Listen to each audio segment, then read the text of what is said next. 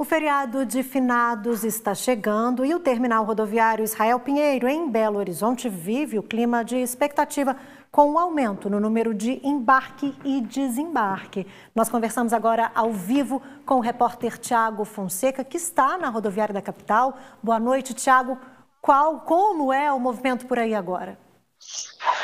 Boa noite, Carol. Boa noite a todos. Rodoviária de Belo Horizonte movimentada nessa véspera de feriado. Muita gente chegando, muita gente saindo. A expectativa é que passem por aqui até a próxima terça-feira, dia 3, 64 mil pessoas, uma redução de 44% se comparado ao mesmo período do ano passado. E serão 1.745 saídas, com 34 mil pessoas, mais ou menos, e 1.710 chegadas, com uma, aproximadamente 31 mil pessoas.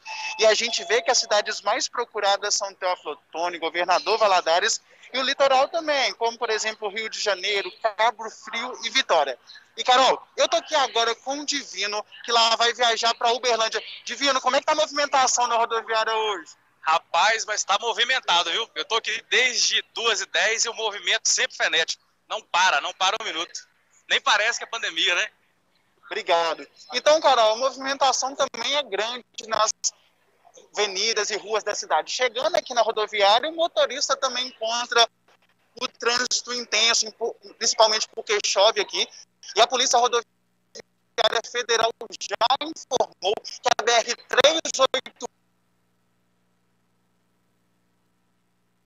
Obrigada, Tiago, pelas informações. Né? A gente teve um probleminha no link, daqui a pouco a gente volta com mais imagens de lá.